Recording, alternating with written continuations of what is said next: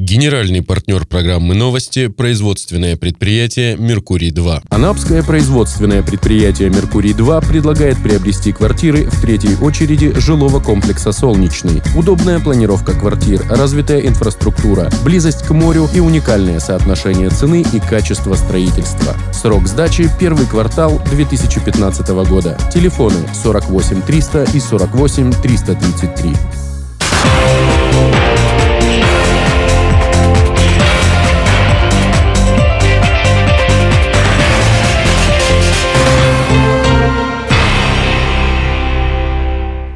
Эфир канала РЕН продолжают новости Анапа регион. В студии Кристина Рабина. Здравствуйте. Смотрите сегодня в выпуске.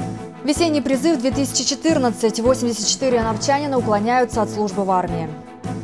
29 марта в Анапе начнется первый этап спартакиады трудящихся города-курорта.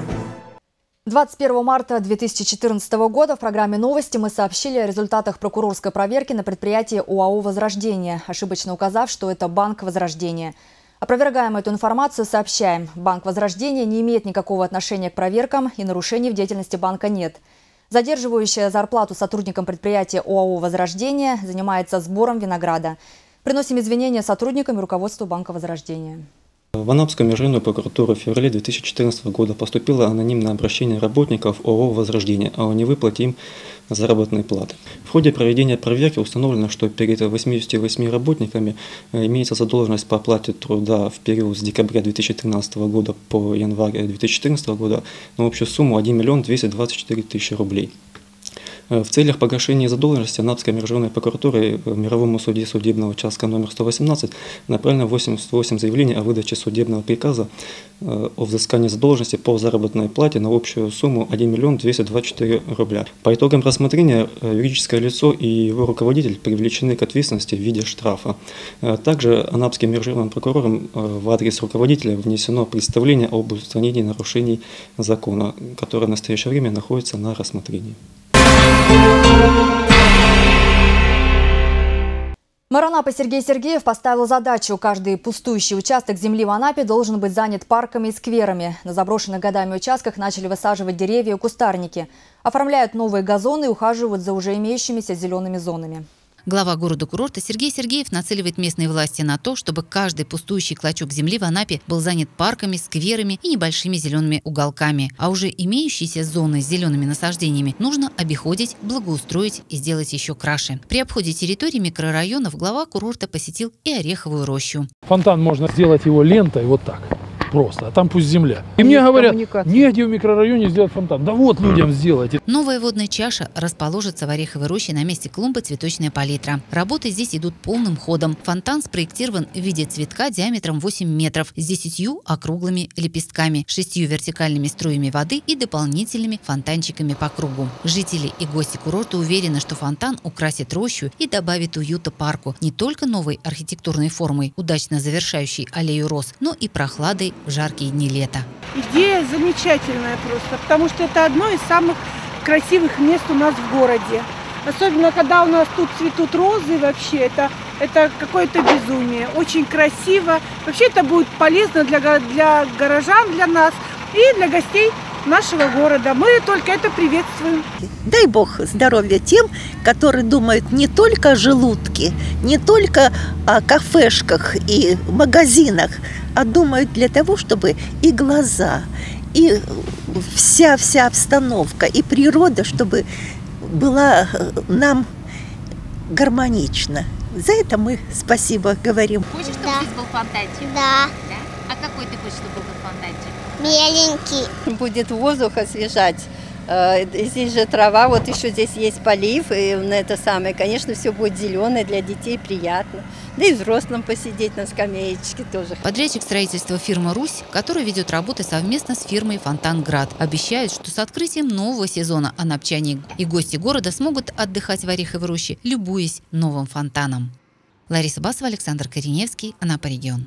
Приближается весенний призыв. Администрация города-курорта обсудили его задачи. В совещании приняли участие главы сельских округов и члены призывной комиссии. В прошлом году через призывной пункт прошли 1942 юноши, из них 351 пошли служить в ряды российской армии и один на альтернативную гражданскую службу. Об организации призыва 2014 года расскажет Лариса Басова. Службу в рядах вооруженных сил не все считают своим долгом. В этом году в розыске находится 84 анапчанина призывного возраста. Правда, число уклонистов в два раза ниже показателя прошлого года. По осеннему призыву 2013 года лучше всех отработал Гайкадзорский сельский округ и станица Анапская. В этом году, чтобы весенний призыв прошел еще лучше, чем в прошлом, военкомат дал списки призывников администрациям сельских округов за месяц до начала призыва, а не как прежде во время призыва. А вот уклоняться от воинской службы не советуют никому. По исполнении 27 лет проблема не устраняется. С 1 января вступил закон, закон 170 Теперь на призывную комиссию, вот эту нашу призывную комиссию, еще ложится одна нагрузка. Теперь мы будем выносить решения по гражданам, которые, э, которым исполнилось 27 лет, они не проходили службу в армии. Теперь мы будем по ним решения принимать. Законно он не служил в армии, либо незаконно.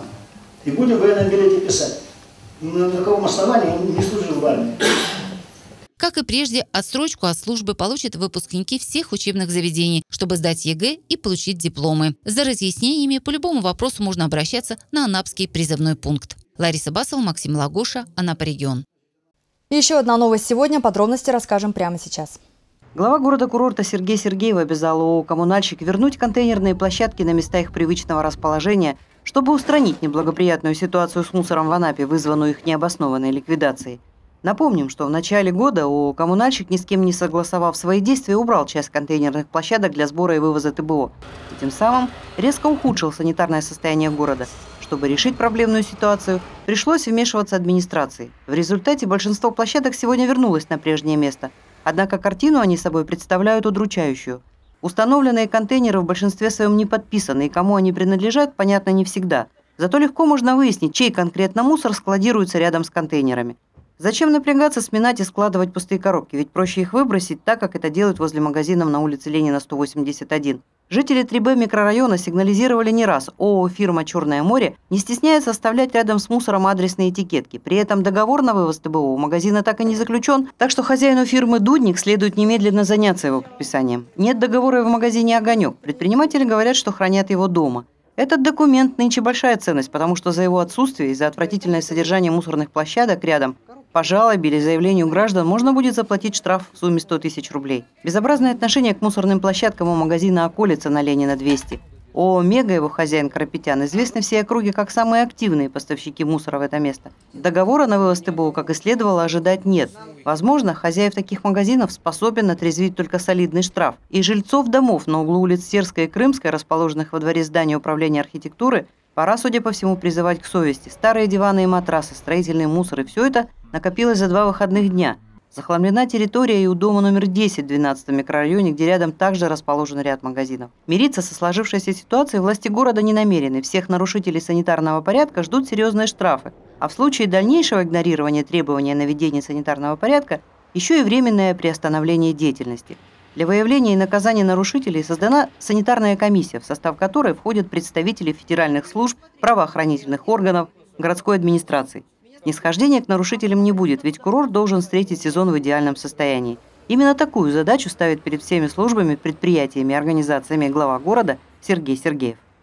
Депутат ЗСК Николай Ванюшкин отчитался перед избирателями своего округа номер 39 о работе за 2013 год. На встречу с депутатом пришли руководители предприятий социальной сферы, санаторно-курортной отрасли Субсесского сельского округа, депутаты Совета города-курорта от сел Субсех, Варваровка, Суко, Утриш, совместно с которыми Николай Ванюшкин решает многие социальные вопросы, помогая селянам.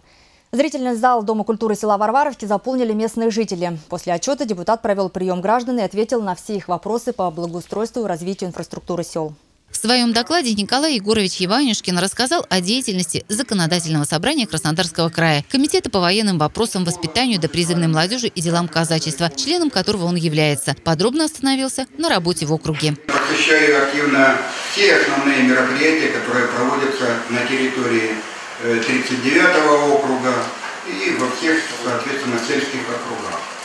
В 2013 году принял участие в таких мероприятиях, которые были посвящены Дню защитника Отечества, 70-летию освобождения Анапы и Анапского района от немецко-фашистских захватчиков, церемонии открытия стелы «Город воинской славы», Не только военно-патриотические мероприятия в списке проделаны за год работы. Большое внимание депутат ЗСК Николай Иванюшкин уделяет развитию спорта. В 2013 году он оказывал помощь в подготовке и проведении краевых турниров. Будучи 25 лет подряд директором детского федерального центра смены, он всячески поощрял занятия детей спортом. Им была создана команда по хоккею на траве. Члены команды не раз входили в состав сборных края и России и в 2013 году вернулись в Анапу с Европейской универсиады с серебряными медалями. Ура нашим замечательным спортсменкам! Поддержка казачества и помощь в открытии казачьих кадетских классов были отмечены на отчетном сборе казаков Таманского отдела, состоявшемся в Анапе в ноябре 2013 года. Он был награжден нагрудным знаком крестом за заслуги перед кубанским казачеством. После избрания в октябре 2012 года главным направлением моей деятельности в округе стало дальнейшее повышение уровня жизни избирателей. Границе солнечного округа номер 39 входит 50 с лишним населенных пунктов города-курорта Анапа и города-героя Новороссийска. Особое внимание Николай Егорович уделяет улучшению благосостояния селян и делает многое для развития инфраструктуры на селе, поддерживает социальную сферу и в первую очередь дошкольные детские учреждения. С участием предпринимателей построен и введен в эксплуатацию в прошлом году корпус детского сада номер 32 «Ромашка» в Субсехе. Укомплектован оборудованием пищеблок, спальные и игровые комнаты. А в этом году был введен в эксплуатацию модульный корпус на 40 мест по краевой программе развития системы дошкольного образования в Краснодарском крае. Депутат Николай Иванюшкин оказал помощь по благоустройству прилегающей территории. Не остаются без внимания просьбы работников культуры, образования, директоров школ. Депутат уделяет внимание работе с обращениями граждан, встречам с избирателями, контролю за данными поручениями. В 2013 году проведено 33 приема граждан. Присутствующие единодушно одобрили деятельность депутата ЗСК Николая Егоровича Иванюшкина за 2013 год. Лариса Басова, Алексей Мухортов, Анапа регион. В субботу 29 марта в Анапе начнется первый этап спартакиады трудящихся городу-курорта. Заместитель мэра Анапы Сергей Козлов провел совещание с начальниками управления и главами сельских округов. Обсудили вопросы организации и проведения спартакиады. Более подробно о графике проведения соревнований расскажем прямо сейчас. Спартакиада объединит трудовые коллективы более 160 анапских организаций, учреждений и предприятий, из которых 84 представляют сельские округа. Заместитель мэра Анапы Сергей Козлов поручил начальникам управления и главам сельских округов проследить, чтобы все коллективы участвовали в мероприятии. До четверга все заявки на участие должны быть отправлены. Все должны участвовать в этой спартакиаде. Никто не должны. Это трудовые коллективы. Они на нашей территории. Я не думаю, что у них есть дети, у них есть семьи, у них есть все. Есть свой трудовой коллектив, который выставить должен свою команду. Хотят они, этого не хотят, но этим нужно заниматься. В программу соревнований вошли 9 видов спорта. Мини-футбол, стритбол, перетягивание каната, настольный теннис. Анапчане попробуют силы в гиревом спорте, скиппинге, прыжках на скакалке, легкой атлетике, двоеборье, женщины и мужчины. В плане соревнования в дартсе шашки. Спартакиада пройдет в два этапа. В первом с 29 марта по 31 августа будут соревноваться трудовые коллективы организаций, а во втором с 1 по 30 сентября определится лучшая команда, которая поедет в Краснодар, отстаивая честь Анапы в финальном этапе этапе спартакиады трудящихся.